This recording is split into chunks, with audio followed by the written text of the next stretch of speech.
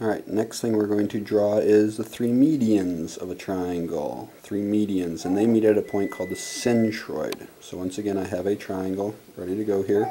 This is obviously an obtuse triangle, and it actually is not going to matter on this one whether it's acute or obtuse or a right triangle like it did for a circumcenter.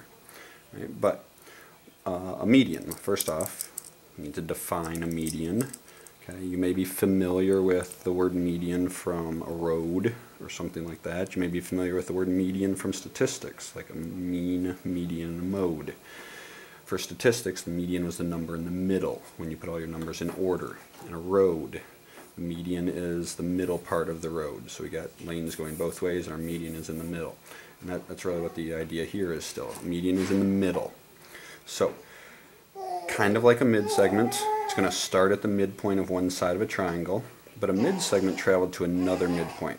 Okay, median's not going to do that. So median's going to start at a midpoint of one side and it's going to go to the opposite vertex.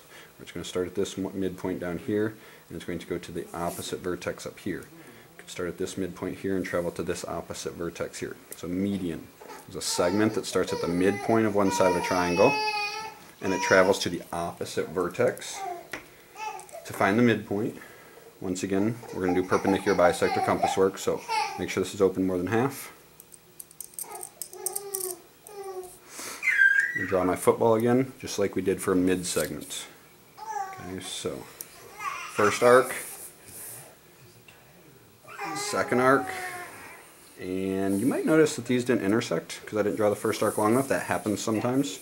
So all we need to do is go back to our first endpoint and draw that arc just a little bit longer. We haven't changed our compass length at all, so it's not going to be a problem.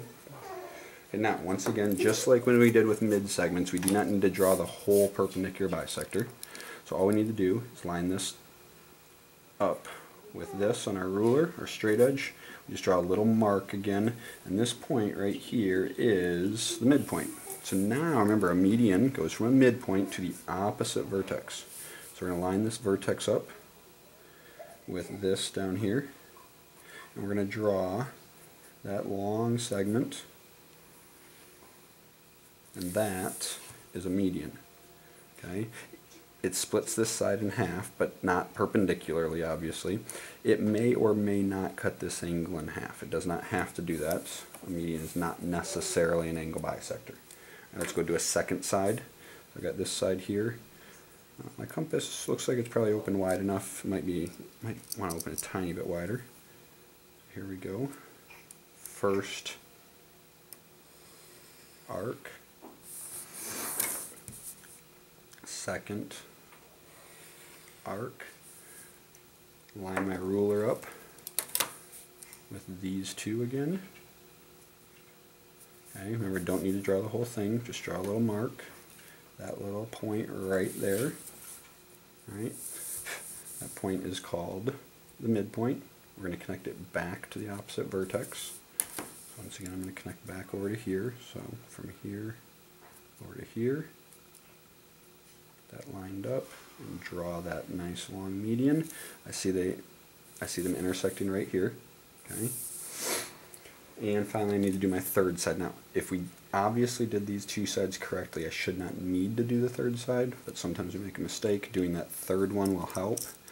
You'll notice that if you do it wrong and you do all three, you'll end up with a little triangle formed in the middle here.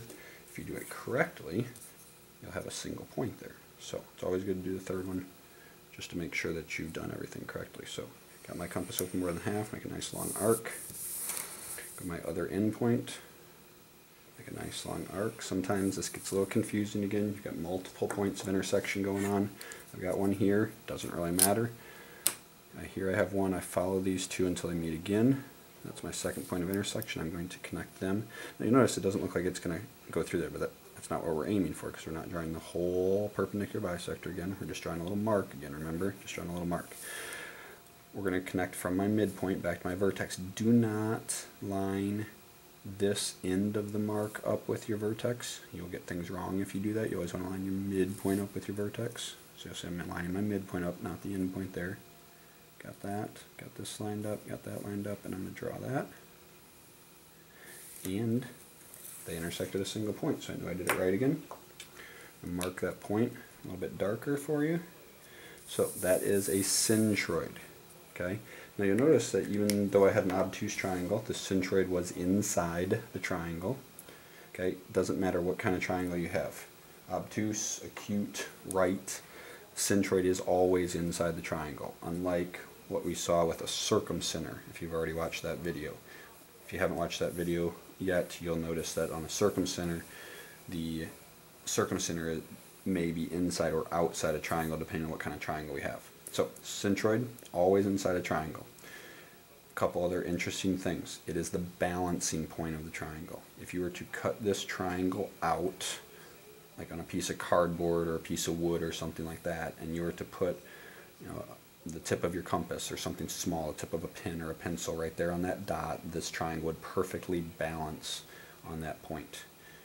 Those of you who've seen that bird in my classroom that balances on its beak, that has the idea of a centroid as well. Obviously it's not a triangle, but that the, the beak of that bird is the centroid, and that's why that bird balances the way it does. A couple other interesting things. There is a ratio for distances from the centroid to the midpoint and from the centroid to the vertex. This is one third of the whole median. This is two thirds of the whole median. And obviously the whole median gives three thirds. Right? So if this is four, this would be eight. One third, two thirds is is doubled, so 4 to 8 is doubled, and then the whole thing, 4 plus 8 is 12. 4 is one third of 12, 8 is two thirds of 12, so this would be 12. If, if we looked at it a different way, if I told you the whole distance was 21, 21 divided by 3 is 7, and 14 for the 2 thirds part. 7 for the 1 thirds, 14 for the 2 thirds. 7 plus 14 gives us 21. So we start with a small, we can double it to get the big part and add them to get the whole thing. If we start with the whole thing, we can divide by 3 to get the small part, double that to get the large part. What happens if we start with the large part? Okay, remember this is 2 thirds and this is 1 third. To get from 2 thirds down to 1 third, we can divide by 2.